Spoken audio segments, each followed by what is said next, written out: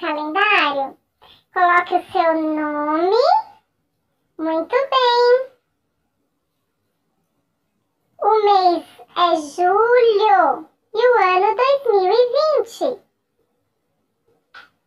O dia da semana é terça-feira, dia 14. A estação do ano é o inverno.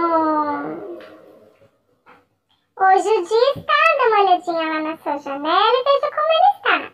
Se ele está ensolarado, nublado ou chuvoso.